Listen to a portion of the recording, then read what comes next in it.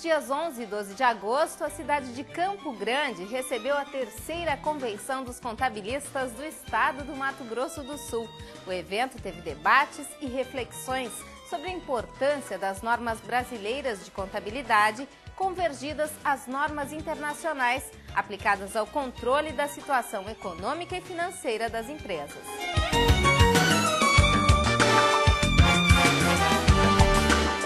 O objetivo dessa convenção é trazer informações e trazer um, um cenário de discussão, de debate sobre as nossas novas normas de contabilidade. O Contabilidade na TV é um oferecimento da SCI Sistemas Contábeis, a especialista.